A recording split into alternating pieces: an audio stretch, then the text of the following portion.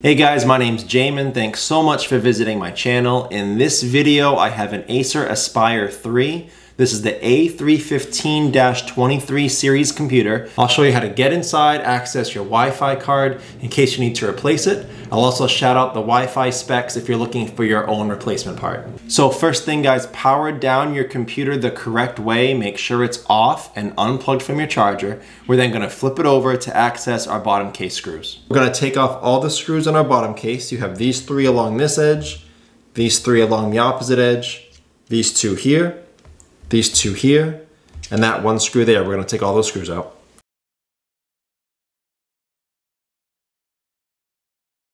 As a side point, guys, this right here is your battery reset pinhole. What you would do is you would press that with a paper clip or other sharp small object. It would reset your battery. You'd let it sit for 30 seconds off, uh, and that can help if you're having trouble starting your computer or charging your battery. After the screws have been removed, I'm gonna take my small flat pry tool. I'm gonna go around the seam and pry up the bottom case from the rest of the computer.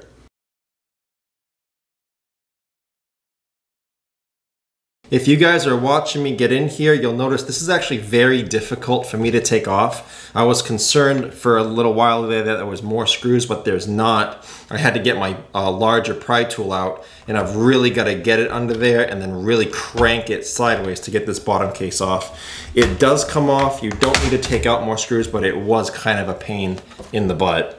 Once you have your bottom case off, this is what you're looking at for the inside of your computer. Now, before I touch anything in a computer, I either remove or at least unplug the battery. So I'll show you how to do that now. Your battery is right here. So this battery is really easy to operate. As you can see, there's no additional screws in here. It's just plugged into the motherboard. So I'm gonna peel back this tape that's holding it to some inside components there. Just peel that back.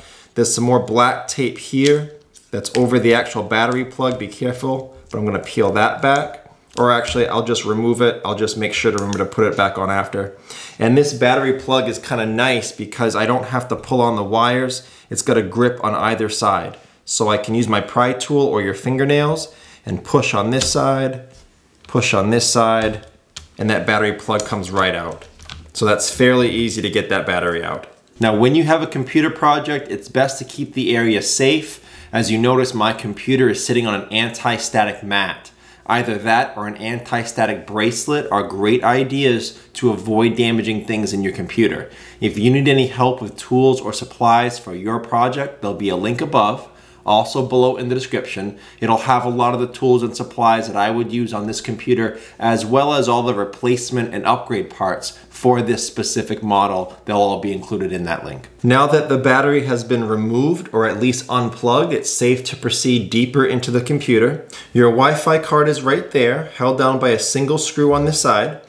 So you're gonna undo that screw, that will release your Wi-Fi card. That screw was in there really good. Be aware, try not to strip it. Uh, after you do that, your Wi-Fi card is released so it can pull out of that port. However, you have your antenna wire here, and those are just snaps, guys. So those just snap right off of the, of the Wi-Fi card like that. If you're looking for the Wi-Fi specs and info, I'll have that below in the description, and I'll have a replacement Wi-Fi card option in that link that I told you about earlier as well. One last thing to remember here guys, if you are having Wi-Fi issues, if your computer cannot find any available networks, it could be that your Wi-Fi card is bad and needs to be replaced, but it also could be something else. There are driver issues, software issues, update issues. There are other things that may be interfering.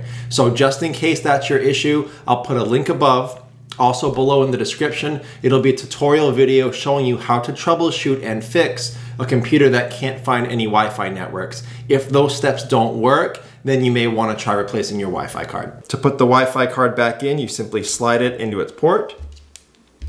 Then I'll screw it down to secure it. To snap those back on, they have to be at a perfect 90 degree angle. If you're not used to it, it, it could take a little time, uh, but I'm just gonna try to get it on top of it as well I can, then snap it back down. Uh, if you don't have it at the right angle and you push too hard, you can damage it. Just be aware of that. So just really just go slow, be easy, and snap those back down. If you have any questions on this video, check out the FAQs in the description first. It could save you some time getting an answer. But if you need to leave me a question or comment, I do try to get to those at least a couple times a day. Please remember to like and share if this video was helpful, if you think it can help someone else. And feel free to subscribe if you enjoy do-it-yourself computer tutorials. Thank you so much for watching guys. Look forward to seeing you on my next video.